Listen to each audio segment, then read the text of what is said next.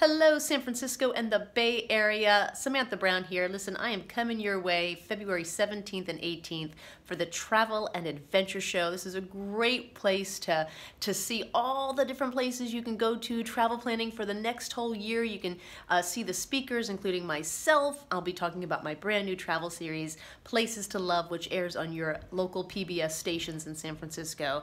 And uh, I'll be signing autographs and talking to you after. So please come and see me again at the Santa Clara Convention Center, February 17th and 18th. For more information, go to travelshows.com.